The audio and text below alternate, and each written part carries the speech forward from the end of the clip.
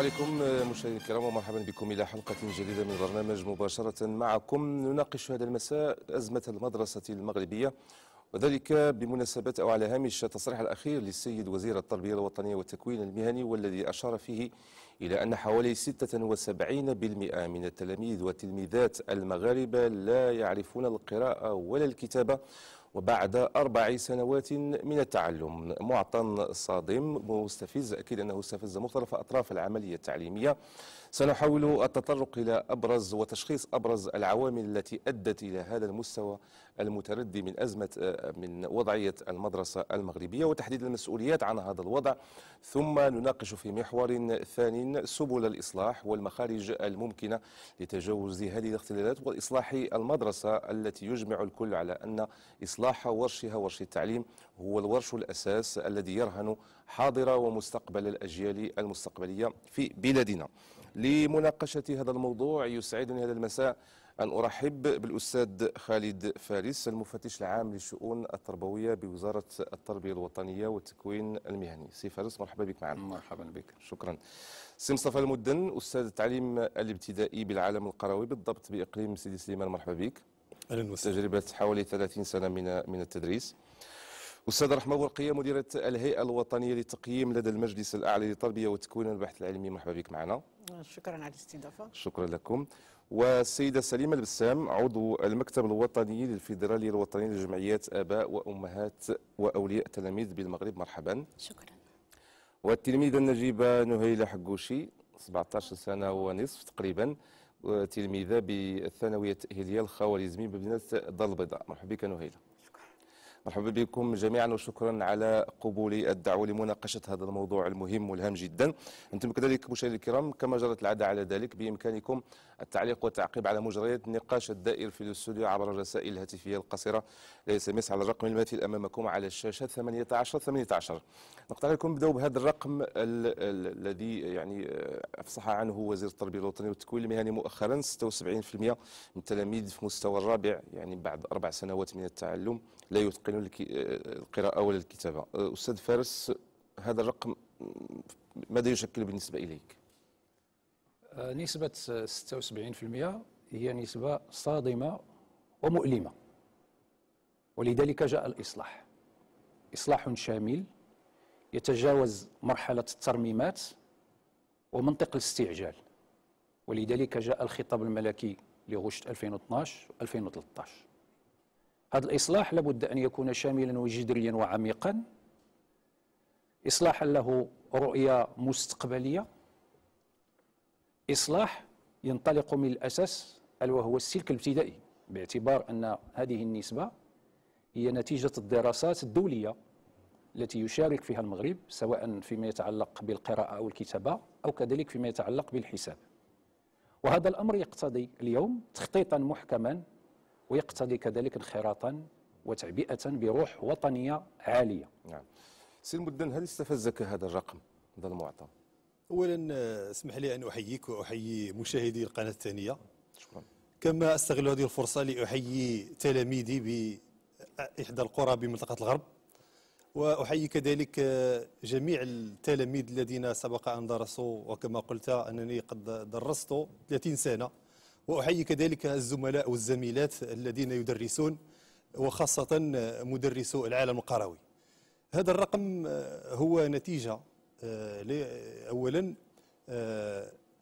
باعتبار أنها نتيجة يتم الاتفاق حولها وتعطى بشكل رسمي فأنا لا أناقش يعني هذه النتيجة هل هي حقيقة موجودة أم لا ولكن أسلم بأنها موجودة بما أنها صادرة على الاتجاه الرسمي.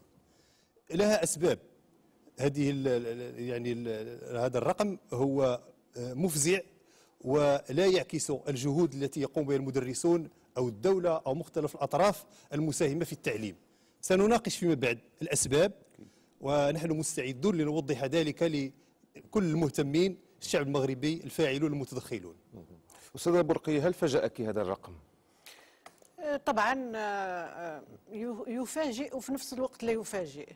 لا يفاجئ لأنه المغرب يعني منذ 1999 هو كيخضع أيضا لدراسات دولية التي تبين هذا الأمر. يعني آه، كل أربع سنوات تكون هناك دراسات حول تحصيل مثلا التلاميذ. تحصيل التلاميذ في الرياضيات تحصيلهم في اللغات تحصيل يعني في علوم الحياة. وفي كل مرة يعني يكون المغرب في مؤخرة تقريبا البلدان. إذا ولم تكن هناك يعني لم يشعر أحد بصدمة في حين أننا اليوم نتحدث عن الصدمة. في الواقع هذا يعني تراكم يعني لسنوات. اليوم أصبحنا ربما يعني على وعي به أكثر من أي وقت مضى ولابد طبعا من مواجهة يعني هذا الأمر. وهذا ما وقفت وقفت عليه. يعني أيضا تقييماتنا يعني في, الهيئة ويعني أشير إلى أنه يعني أنجز أنجزت الهيئة الوطنية للتقييم لدى المجلس الأعلى.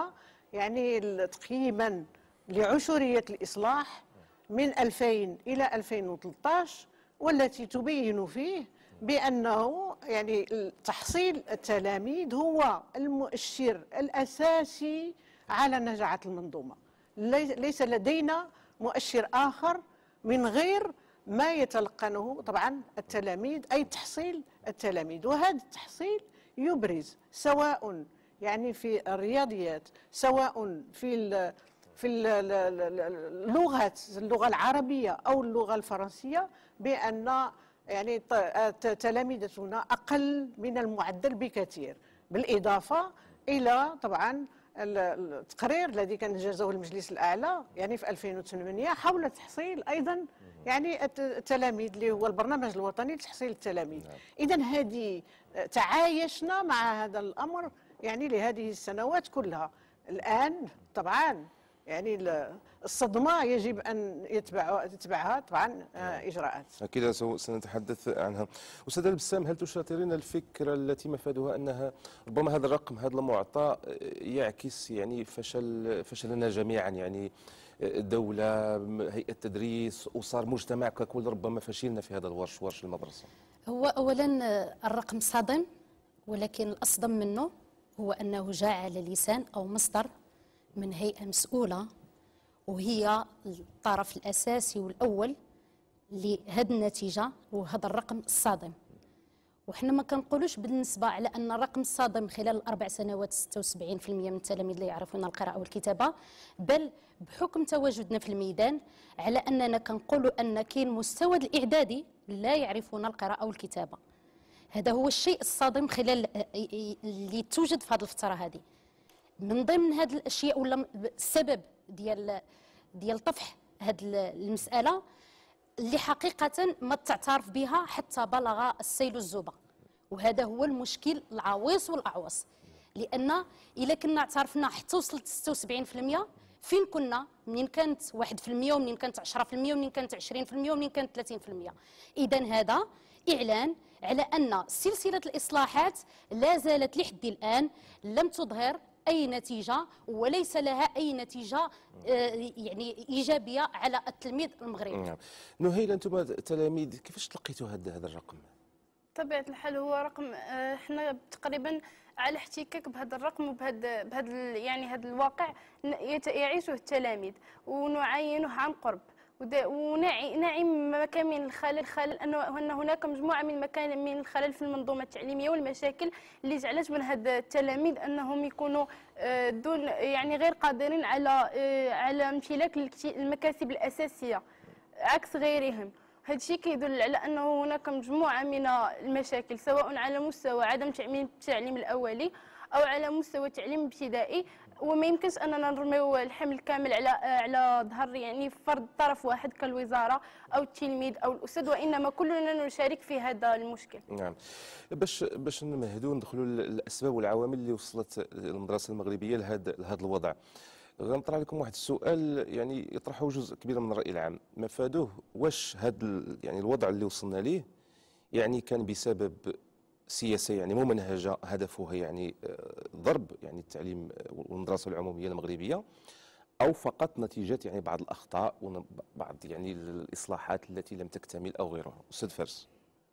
وطيب التصريح نتاع السيد الوزير كيأتي في واحد الثقافه جديدة اليوم اللي كنأسسوا لها هي ثقافة المكاشفة والصدق والشفافيه والثقة. ولا بد المسؤول أن يصارح كل المستفيدين من خدمة مرفق عمومي اللي هو المدرسة المغربية. ال- المس- الأسباب والدواعي. كاين أربعة د المكونات. المكون الأول هو سياسي الاختيارات السياسية. لم تكن هناك رؤية استراتيجية مستقبلية. عدم استقرار الوزراء في نظام حيوي وحساس. المكون الثالث هو أنه لم يحسن في بعض القضايا مثل اللغات. المستوى الرابع هو المتعلق بالتعميم واللي هو شيء إيجابي لأن انتقلنا من واحد النسبة نتاع 75 إلى نسبة اليوم في حدود 99 وهي نسبة جد مهمة ولكن لم نواكبها ونوفر لها الشروط. المستوى الثاني هو مستوى تربوي بامتياز. وضعنا مع بداية 2000 2001 2002 مناهج وليس منهاج وفيه تنافر وعدم التناسق جعلنا المقررات كثيفة من حيث الدسامة ديالها. وهذا يستعصي على المتعلم وعلى الأستاذ أن يقوم بتصريفه بسهولة. كذلك من حيث المقاربة نتاع الكفايات انتقلنا من بيداغوجيه الأهداف إلى مقاربة الكفايات ولم نوفر الشروط للانتقال السلس للتحكم في هذه المقاربة. فيما يتعلق بالطرق البيداغوجية المدخل نتاع الابتدائي يعتمد على الطريقة الكلية وهي طريقة حقيقة حديثة. ولكن لا تنسجم مع مشكل التعليم الأولي في المغرب لا يستفيد من التعليم الأولي جميع التلاميذ. ولذلك يصدمون في اللحظة الأولى في السنة الأولى ابتدائي بترسيمة جملة متكاملة والتلميذ والتلميذة الذي لم يستفيد من رياض الأطفال لم يتعرف حتى على اكتشاف الحرف. ولذلك لا يواكب ولا يسير المستوى الثالث هو المتعلق بالموارد البشرية. كان عندنا خصص الموارد البشرية وحاولنا أننا دمجنا اطر بدون تكوين في نفس الوقت. كانت عندنا اختيارات نتاع التكوين لمدة سنة وهي غير كافية بتاتا لتعميق الخبرة وكذلك المهننه المستوى الرابع هو فيما يتعلق بالتأطير والمصاحبة.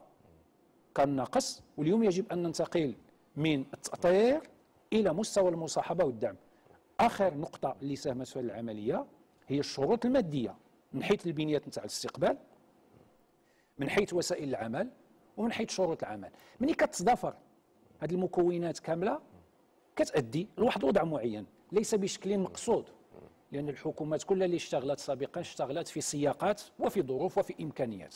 اليوم ما بعد دستور 2011 هناك اختيار. هذا الاختيار هو أنه أحسن استثمار هو في رأس المال. ورأس المال المشتل ديالو الأساسي هو المدرسة. إلى تلاقت جميع الجهود من قطاعات حكومية ومن سياسي وآباء ومجتمع مدني وإرادة. نتاع صاحب الجلالة كنظن يمكن ننجحوا في هذه المحطة الفاصلة والحاسمة إن شاء نشوف الأستاذ المدن واش يشاطر هذه الفكرة بأنه الأمر يتعلق فقط ربما بسوء تقدير ولا مثلا يعني بعدم مراعاة يعني بعض المجموعة ديال الشروط لإنجاح مجموعة الخطط والإصلاحات أم أنه ربما كان كان التعليم يزعج طرفا ما فيعني فأوصله إلى ما اوصله إليه؟ ويصعب اتهام أو وضع اتهام تجاه جهة معينة. آه، أنا كممارس لي من التعليم آه، من موقعي كفرد يصعب أن أوجه اتهاما لجهة ما أنها كانت تخطط وتريد شرا بالتلاميذ بالمستقبل. آه، يصعب ولكن ما يمكن ان أن أقوله هو كانت إجراءات خاطئة. و- و- وانطلاقا من ممارسة أننا خصنا نوضحوا بعض المسائل اللي هي آه، في كاين الأزمة. يعني في هاد بعض الإجراءات اللي كانت تدار آه، بدون آه، بدون يعني ما نعرفوا الخلف ال- يعني العواقب ديالها. وغادي نحاول ندرج شوية واخا نهضروا باش الناس يفهموا يفهمونا شوية. لأن ماشي. حنا دابا تنديروا ندوة ثقافية إلى آخره غادي نجيبوا كلام مصاوب ولا. ما آه اللي كنخاف منه هو أن هذه هضره الأزمة تكون تتوجد لشي مشكل آخر. هذا هنا هنا فين يمكن ان نجبد الاتهام؟ هو من نقولوا راه كاين أزمة. كيفاش نحل هذه الأزمة؟ وعلى حساب من؟ ما المسكوت عنه عندما نثير موضوع الأزمة. وشيء آخر أنا كممارس يجب أن أسجله. هناك إيجابيات هناك مجهود. هنا لا يمكن أن نغفل الآن أنه توجد حجرات قرب جل الدواوير. وأن الاحصائيات تقول أن راه ما كاينش شي قريه اللي بعيدة 5 كيلومتر على على على قسم على مدرسة. كيفاش هو هذا القسم؟ كيفاش هذه المدرسة؟ هذا موضوع آخر. اذا هذا مجهود. ثم توظيفات. هناك يعني من من بداية الثمانينات وقع واحد المجهود ديال نشر التعليم وخاصة في, في البوادي. هذا هذه إيجابيات. المشكل آه، اللي كاين في الابتدائي وهذا هو المجال اللي يمكننا نهضر فيه مزيان. يعني نحاول نفسر فيه شوية. وخاصة في العالم القروي وحتى المدينة راه يعني نفس المقرر نفس المناهج نفس آه، أول شيء هو يعني تنديروا بغينا نقريو الدراري نوريهم كل شيء في مرة واحدة. يعني عندنا واحد البرنامج ثقيل ونعطيكم أمثلة بالتدقيق. مثلا نهار باش كيدخل الطفل القسم الأول جايبينه من عند الأسرة ديالو حطيناه في المدرسة. فتلقاو في واحد في كتاب القراءة نص. هذا النص فيه واحد الجملة تقول باش تشوفوا كيفاش هذا الشيء مصاوب. فيه أن سلمى تفرح بعودتها إلى المدرسة. سلمى في العالم القروي لم تذهب اطلاقا إلى أي مدرسة. وهذاك النص هو فقط مراجعة للدروس أو للحروف أو للمواد الذي يفترض أن هذاك الطفل راقلها في الروض. كانت الوزارة مخطه باش في 2006 يكون تعميم آه تعميم التعليم الاولي كان من بين بنود الميثاق. ولهذا وضعوا ذاك المقرر ديال القسم الأول على أساس أن راه كاع التلامذه المغرب داروا التعليم الأولي. هذا لم يحدث اطلاقا أن الوزارة قد تبنت التعليم الاولي هي تقول أن تبغي يعني دير التعليم الاولي في إطار شراكات مع الآباء أو مع الجماعات المحلية أو ولكن هؤلاء لا يستجيبون. لا يستجيبون وبالتالي بقي المشكل. ثم هذا الطفل باللي كنديروا ليه تنعطيه نعلموه الحروف تنعلموه جوج الحروف في الأسبوع. وحنا غاديين بالزربة. وما كاينش الحروف راه كاين دروس أخرى. كاين واحد البرنامج مدقق مقسوم في الأسبوع وفي الشهر. وخاص كل أستاذ ينفذ هذاك الشيء. ولا جا عندك المفتيش تيقول لك أعطيني هذيك المذكرة ديالك. نوضحوا هذا الشيء مزيان خص الناس يعرفوا شنو كيوقع في القسم وشنو كيوقع في المدرسة. كتعطيه انت المذكرة تيقول لك آه جيت عندكم من 10 ونص ل 11 ونص خاص يكون عندك دابا التعبير ولا الرياضيات ولا. انت ملزم بتطبيق ما وضع ولمن وضع وضع لطفل محتمل مفترض. ماشي ذاك الطفل. وتنزيدوا تلقاو غاديين كنكملوا المقرر. تنساليو المقرر تلقاو مثلا قل من النص اللي تعلموا الحروف. شنو الخارطه كتقول لك نجح أسيدي نجح لي 90% واخا أنت تقول أنا هاد 50% راه ما غاديش ينجحوا. تيجيك واحد الورقة من عند النيابة تدوز عند المدير تيجي عندك المدير يقول شو أنا غندير لي هنا غيسقطوا غير جوج تيدوز هذاك الشيء. بغض النظر على المستوى. بغض النظر على المستوى. حنا نعطيكم فيما بعد حلول ديال هذا الشيء كيفاش خصو يكون. أكيد. وتيتراكم هذا الشيء وكنزيدوا في الأقسام الأخرى وتيبقى ذاك الطفل ما عارفش وهو غادي ما عارفش وتنولوا نقريوه علوم تنقريوه التاريخ والجغرافيا وبزاف المسائل وهو ما زال لا يف... ما تيفرزش الحروف. تيفرزش الحروف. هذا من المشاكل كاين مشاكل كثيرة وممكن نوقفوا عليها. نسمعوا نهيله لأن يلاه دازت هي من هذا المسار مازال بقى فيه. واش كتعيشوا أنتم كتلاميذ هذا الشيء هذا طبيعة الحال كما أشار السيد المدن آه، في المقررات ديال التعليم الابتدائي هناك تركيز على المكتسبات الأساسية في إطار حيز حيز زمني بالتالي كنفرضوا على التلميذ وعلى الأستاذ أنهم غادي يساليو واحد واحد واحد واحد المقرر في واحد الحيز زمني محدد. بغض النظر عن شنو يعني التقويم ديال داك الشيء اللي اللي اكتسبه التلميذ وبالتالي كيكون النظام التعليمي ديالنا نظام كمي أكثر مما هو كيفي. آه، مما كيؤدي لمجموعة من الاختلالات. هذا آه، الشيء آه، بغض النظر عن أنه كنركزوا أكثر على هذه المكتسبات الأساسية وكنلغيو التربية الحقوقية اللي خص يتمتع بها كل تلميذ باش من بعد ملي غادي ينتج المواطن غادي يكون عارف أن عنده الحق في التصويت عنده الحق أنه يحترم انه الحق أنه يختار الممثلين السياسيين ديالو عنده حقوق خصهم يتمتع بها واجبات خصو أنه يلتزم بها تجاه الاخرين. بالتالي كيكون الاختلال على المستوى ديال التعليم الابتدائي هو تقريبا الأساس ديال الاختلالات على في المسار الدراسي والمنظومة التعليمية كليا. إذ أن الا شدينا ونعطيو مثال بشي بناية الا شديتي شي بناية وما درتيش لها أساس مزيان راه ما عمر هذيك البناية ما غادي تطلعها الفوق وغادي زعما غادي تكون من غادي دوز عليها واحد المدة قصيرة وغادي تهدم. هادشي اللي كيوقع لنا في التعليم المغربي أن ملي كيجي التلميذ كيوصل للتعليم الثانوي سواء الإعدادي أو التأهيلي ما كيلقاش أنه آه، ما كيلقاش راسو بأنه يعني موجد يعني بواحد الطريقة اللي مزيانة باش غادي غادي تمكننا أننا نعطيو ننتجوا واحد الإطار اللي مزيان. وما كتعطيناش يعني مواطن صالح غادي غادي يساهم في أننا نزيدوا بالمجتمع ديالنا القدام. نعم. نسمع وجهة نظر الاستاذ البسام كذلك في هذه في هذه النقطة ديال ديال ديال الأسباب. كاين مجموعة الأسباب اللي تكلموا عليها الأساتذة. آه، واش ما كتشوفش بأن هناك كذلك دور ربما ديال ديال الأسرة في هذا في هذا في هذه الوضعيه اللي كان اللي كنتكلموا عليها؟ لا هي قبل دور الأسرة غادي غادي نكون مع ال- الأساتذة ومع مع ال- النساء على انها ما نساوش على أنه سلسلة الإصلاحات اللي كانت ال- اللي السلبيات ديالها تراكمت منذ سنوات أي من عهد 1957 واللي كانت آنذاك واحد اللجنة ملكية اللي كتشرف على السلسلة الأولى وهي ماشية في تراكمات في سل في سلبيات التراكمات هذا هو اللي كان أساسي فيها إلى غاية وصلت الميثاق الوطني إلى غاية المخطط الاستعجالي وحنايا ماشيين. الأشياء اللي كتزيد اللي كتزيد في هذه المسائل هذه هي اولا كان كيكون دائما الإصلاح جزئي.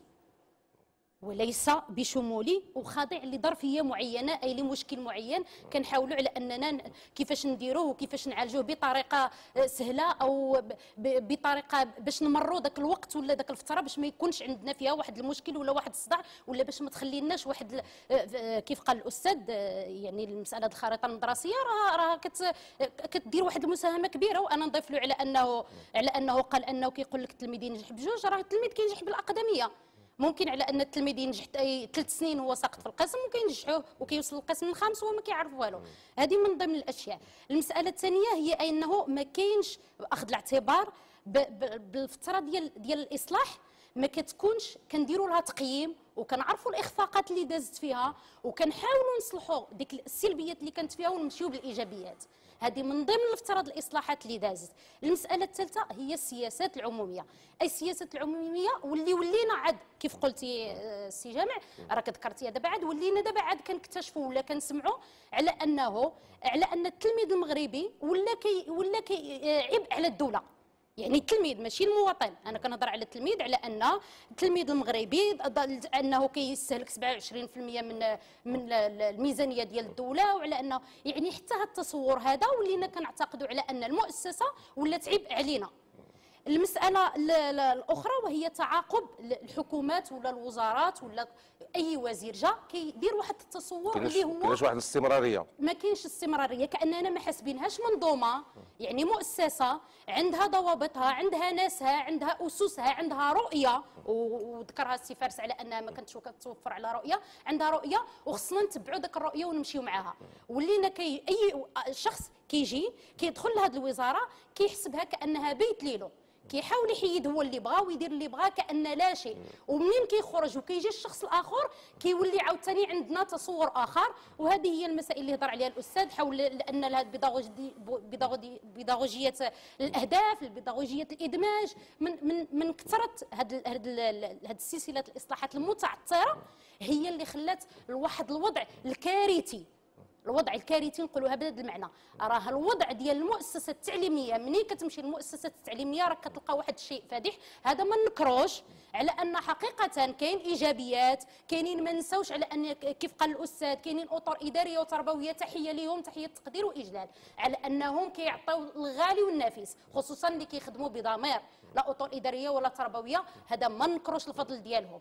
ولكن كتبقى على أنها لا ندري من, من هنا كنبدأ الكلام اللي قلت قبيلة لا ندري ما معنى هذه التصريحات الأخيرة. هل آه، أصبحنا نعلم على أننا نخطئ ونصرح كاين تحمل المسؤولية أكثر أم أننا نريد تعليق المسؤولية على آه، آه، أشخاص أخرين شفناهم أنهم تواجدوا معنا في الميدان أو أننا نضع أنفسنا على أننا قلنا اللي كاين وما عندنا ما نديرو.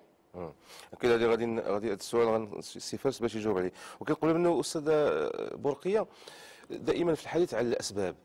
أنت دوزتي أجيال من الطلبة والطالبات المغاربة وربما انتقلنا من واحد الوضع اللي كان يعني التلميذ المغربي في مستوى ديال الشهادة الابتدائية كان بإمكانه يولج الإدارة المغربية وأبدع فيها وانتج الآن انتقلنا إلى تلميذ يعني في الرابع لا ما كيعرفش لا يقرأ لا يكتب. نظرك شنو العامل الأساسي اللي يجعل هذا الانحدار بهذا الشكل الفظيع؟ هو بالفعل هناك واحد تحول كبير يعني من بداية الاستقلال إلى الآن. يعني وحنا تنقول هذا في يعني أيضا في الخلاصات ديال تقريرنا. آه، البداية ديال الاستقلال و- يعني ممكن نقول العقود الأولى يعني كانت المدرسة هي وسيلة للصعود في السلم الاجتماعي. يعني معناه أن جيلنا هو أح... آه، آه، مستوانا أحسن من من أبائنا. اليوم يعني كاين هناك عطب. يعني أن المدرسة ما بقاتش يعني وسيلة ربما للصعود في السلم الاجتماعي لهذه الاعتبارات ولهذه الأسباب اللي إحنا كنتكلموا عليها.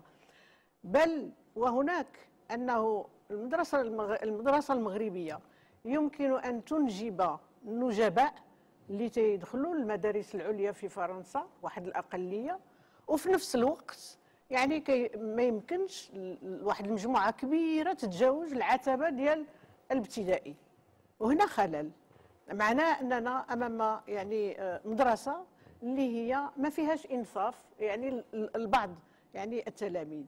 يعني ما هي ال- ال- ال- العطب الك- الكبير يعني اللي هو مرتبط بالرقم اللي تكلمت عليه في البداية. هو أنه هناك هدر كبير يعني أن الط- التلاميذ ينقطعون عن عن عن الدراسة. خلال عشوريه الإصلاح آه، إص- إصلاح يعني الميثاق تطبيق الميثاق يعني أحصينا بأنه ثلاثة المليون ديال ديال التلاميذ انقطعوا بدون بدون الوصول إلى حتى النهاية الإعدادي. يعني ما معناه؟ معناه أن منظومتنا المنظومه التعليميه بحال شي قطار يعني فيها يعني هاد الركاب وكل مرة كينزل كينزل البعض ولكن ملي كينزل يعني ما تينزلش فوق رصيف آمن. وإنما يواجه المجهول لأن انقطاع الدراسه ما معناه؟ معناه كلفة مادية. وحصينا الكلفة المادية انها تقريبا يعني الانقطاع عن الدراسه كيكلف ميزانية الدولة 4 المليار سنويا. ثم هذا هذا ماشي يعني الأهم. الأهم هو الكلفة الاجتماعية. يعني لأنه ملي كينقطع التلميذ عن الدراسة. ما معناه معناه أنه مع أو أحس في أحسن الأح- الأحوال كيرجع للأمية. ثم يعني طبعا الانحراف يمكن يكون تهميش يمكن تشرد يمكن إلى آخره. اذا هذه معضلة. يعني ال- ال- ال- التساؤل عن المسؤول من المسؤول كنظن لا يجب أن نعلق المسجب على يعني على جهة. وإنما يجب أن نحلل يعني المنظومة ونحلوا العقد ديالها. فين؟ فين موجوده هذه العقد؟ إلا بغينا نحصيو هذه العقد نعم. يعني كيمكن لي أنا ن- غادي نفصلوهم نفصلوا فيهم. ولكن قبل ذلك نقترح عليكم على المشاهدين الكرام تابعوا واحد الروبورتاج اللي كيرصد واحد الجانب من من أوجه الخلل اللي تكلمنا عليها. وروبورتاج من إحدى الجماعات القروية بإقليم تارودات المناطق النائية. طاقم القناة الثانية بالمكتب الجواب اكادير والزميل عبد اللطيف بن طلب انت- انتقلوا وقفوا خصوصا على ظاهرة الأقسام المشتركة اللي ربما كتجعل أنه قد تفسر بعض من هذه ال- ال- الج- الجوانب العمق ديال هذا الرقم اللي تكلمنا عليه. نتابعوا هذا الروبورتاج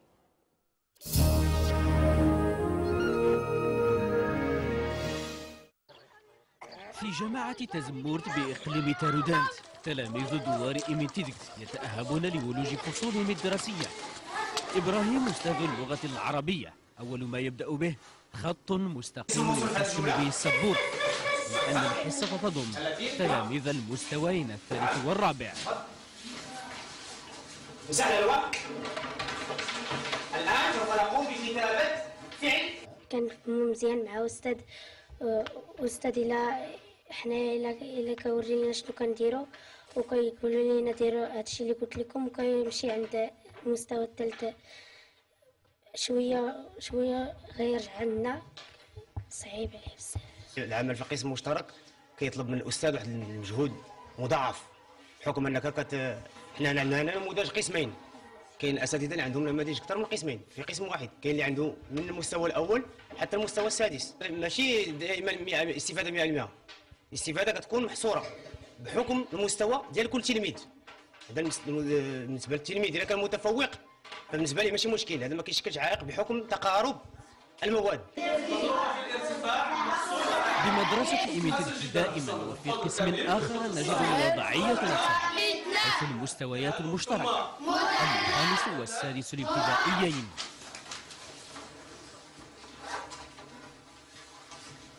شرح لنا المعلم نفس الكتاب نفس الكتاب وكان فهمه مزيان كتفهموا مزيان. واخا كيقرا معكم قسم آخر. إيه.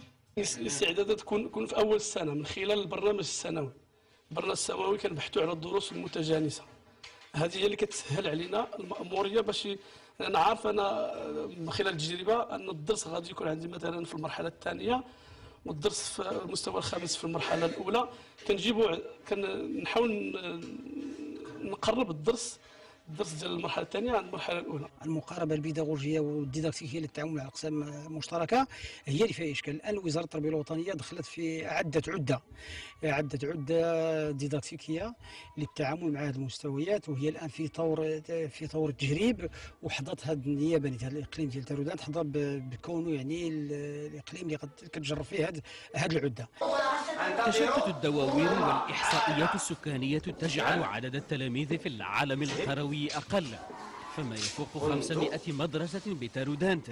مجموع تلاميذ كل المستويات حوالي 70 تلميذا. بعض المرات كيبقى فيك الحال علاش كيكون شي أمور اللي خصك توصلها للتلميذ؟ ومن خلال الحصة الزمنية ما تقدرش كت... كتقول وكان عندي قسم مستقل مرة ولا ما هذا؟ هو اللي بعض المره بعض المره هذا هو اللي كي كيحز في النفس بعض المرة. يعني التلميذ ما كياخذش الحصة الكاملة ديالو بحال المستويات المستقلة. الأقسام المشتركة ما متعلقاش بالتلميذ وما متعلقاش بالأستاذ متعلقه ب... ب... يعني التهيئة المجالية في العالم القروي. كتلقى دوار يحتوي على 20 أسرة دوار يحتوي على 30 أسرة. مجموع ديال التلامذ آه، ما كيفوتش يعني 10 ولا 20 من يعني في لا ترونش داج ديال الابتدائي كلها. إذا هنا كيكون مفروض علينا باش نتعاملوا بهذه الطريقة هذه. ولكن آه، ماشي ضحية. وإنما هذا معطى نتعامل معه. J'ai presque 14 ans. Mes parents, ma, grand, mes parents, ma grande sœur Shafia et moi habitons ضيق الحيز الزمني لكل حصة بالنسبة لكل مستوى أبرز ما يعيق هذه العملية التربوية. أمر يلقي بثقله على كاهل الأطر التعليمية بهدف تحصيل أمثل لأجيال الغد.